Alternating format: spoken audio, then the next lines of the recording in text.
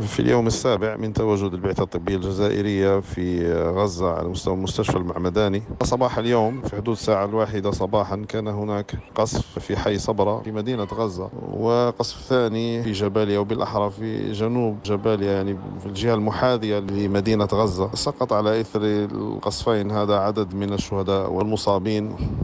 بدأت السيارات في التوافد على المستشفى المعمداني. والحمد لله تجند الفريق بالإضافة إلى إلى إخوانه من الدكاترة والممرضين هنا على مستشفى قسم الطوارئ.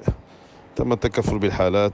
فقدنا بعضها. كان مما فقد آه، أحد أفراد الدفاع المدني أو الحماية المدنية كما نسميه. قصفت السيارة أثناء العمل. بالإضافة إلى آه، سقوط عدد من الجرحى أيضا من أفراد الدفاع المدني. فعموما هذا هو الحال يعني حتى في في الفترات التي لا يكون فيها استقبال للمصابين القصف متواصل على حافظة الشمال يعني من جهة بيت لاهيا بيت حانون آه، معسكر جباليا. مع الأسف ليس هناك منظومة صحية مستشفيات هناك خارج عن الخدمة ليس هناك سيارات إسعاف. فيه من المصابين من يبقون تحت الركام. لأيام.